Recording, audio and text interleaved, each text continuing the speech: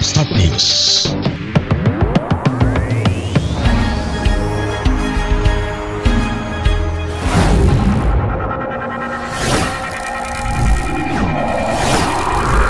Start News Jendela informasi Anda Begini perjuangan tenaga kesehatan Puskesmas Kota Nopan memvaksin warga di desa terpencil.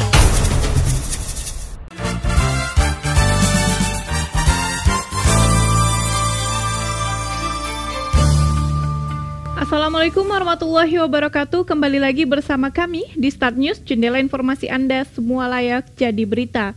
Start News kami hadirkan untuk Anda dengan berita teraktual dan terupdate bersama saya Ika Rodia Putri di Madinah 24 jam.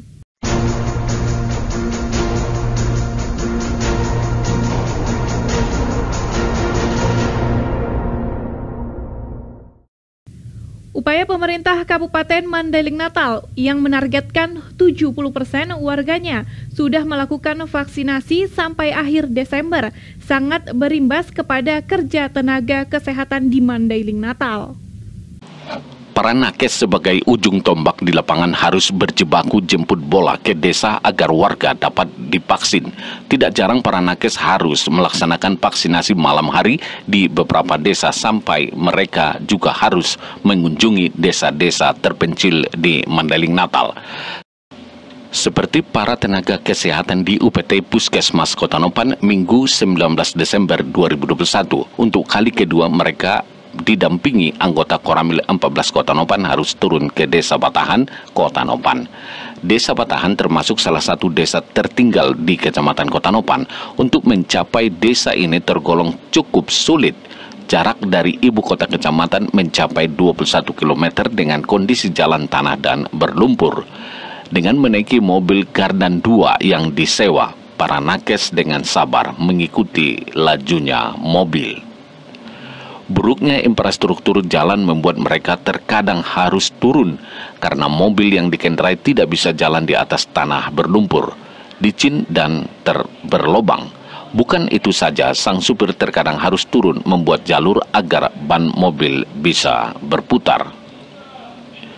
Winda Wahyuni, salah satu tim vaksinasi dari UPT Puskesmas Kota Nopan yang turun langsung ke Desa Batahan mengatakan pihaknya sudah dua kali turun ke Desa Batahan. Tim vaksinasi pertama turun dengan jumlah 9 personil, sedangkan tim vaksinasi kedua turun dengan 7 personil, ditambah anggota Koramil 14 Kota Nopan. Antusiasme masyarakat untuk divaksin cukup bagus. Tim vaksinasi disambut dengan baik di desa ini. Dia menambahkan untuk mencapai Desa Batahan memang banyak suka dukanya. Apalagi beberapa hari terakhir cuaca kurang bagus dengan intensitas curah hujan yang tinggi menyebabkan perjalanan ke desa ini tidak mulus karena faktor infrastruktur jalan. Jadi untuk uh, vaksinasi ke Batahan kita sudah melaksanakan dua kali.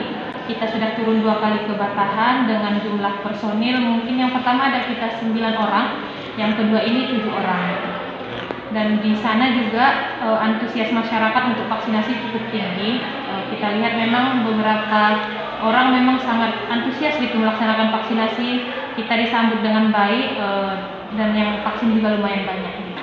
Sangat berkesan sebenarnya perjalanan ke Batahan.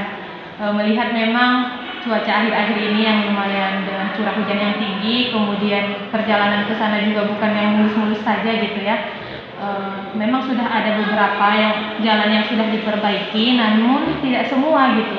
Jadi masih banyak jalan-jalan yang uh, tanah gitu, tanah liat yang memang dia kalau terkena air saja sudah memang menjadi jalan yang sangat susah untuk dilewati gitu. Jadi ya memang perjuangan, sangat-sangat perjuangan untuk sampai ke sana. Di perjalanan saja kita uh, butuh waktu dua jam gitu, mulai dari puskesmas ini sampai ke Batahan gitu.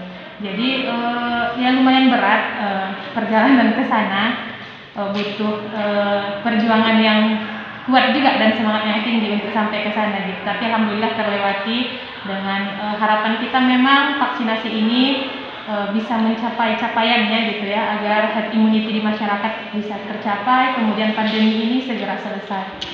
Desa Patahan adalah salah satu desa yang berada di Kecamatan Kota Nopan. Desa ini termasuk desa tertinggal dan terisolir karena buruknya infrastruktur jalan, jalan sepanjang 9 km dari desa pagar gunung Kota Nopan masih terbuat dari tanah. Sebagian lagi sudah dicor dengan semen, sedangkan ongkos yang dikeluarkan seseorang agar sampai ke desa yang jumlah warganya sekitar 80 kepala keluarga atau kakak ini mencapai Rp60.000 per orang. Lokot Husda Lubis melaporkan untuk Start News. Bayarlah listrik tepat waktu sebelum tanggal 20 setiap bulannya. Dengan dukungan dan kepercayaan Anda, kami terus memberikan pelayanan yang terbaik. Listrik untuk kehidupan yang lebih baik. Berita tadi menutup perjumpaan kita di Start News edisi hari ini. Jangan lupa sahabat Star FM, kamu membaca berita terbaru kami, Anda bisa membacanya di www.startnews.co.id.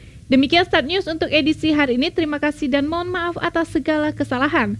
Jangan lupa untuk selalu menerapkan protokol kesehatan, memakai masker, mencuci tangan, dan menjaga jarak. Wassalamualaikum warahmatullahi wabarakatuh.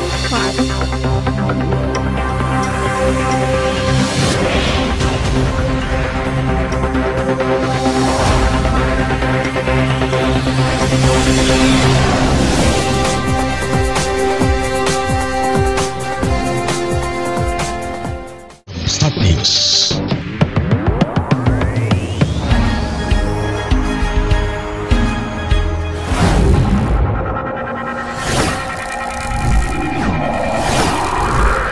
Start News Jendela informasi Anda